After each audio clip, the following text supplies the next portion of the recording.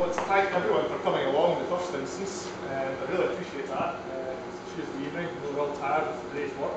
Uh, but this is a, a really exciting time for us, uh, myself especially. Uh, basically, for those of you who don't know, my name is John Glenn Gay, and I just assumed the role of editor of Urban Realm, the magazine you all hold in your hands tonight.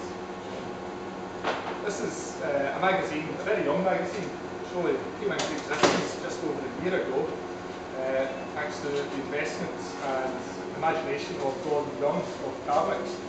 Uh, this was taken forward the former architecture magazine called Prospect, uh, carrying the baton forward to the new decade. And this transition has been enormously successful. Uh, most recently, at the tail end of last year, Urban Realm picked up two awards. Uh, this was for the best designed magazine in Scotland and best overall magazine in the country. Uh, this is an achievement we're enormously proud of, um, but there's a twist in the tale, uh, literally. As these awards were made, um, Carnyx uh, made the decision um, to sell Urban Realm. And I'm pleased to say that myself, uh, my management team, were able to put forward a successful bid for the title. We now have full ownership of the magazine going forward.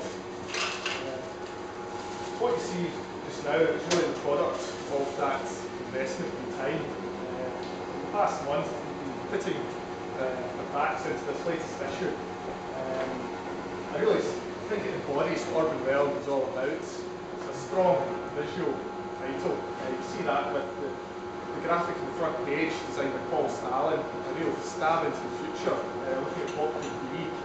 Um, but if you flip that over and look to the other side, you'll see something very different. Uh, that's a, a gritty image of um, Turkey as it is at present. It's these two sides of the same coin, uh, which Urban Realm has always strived to do. Uh, that's really been our modus operandi. To go for contrast. Um, you see that in our Carbuncle Awards, which we do. And you see that in the Architecture of Scotland Annual, we look at the best. You see that in Rubble Club, we look at buildings which have been demolished. And you see that in Britain's Best Buildings, again looking at the best. And these are uh, knitting these competing strands together into a compelling narrative uh, is what Urban Realm does. It's about displaying the, the grit and the glamour of the built environment that buildings see in everyday life.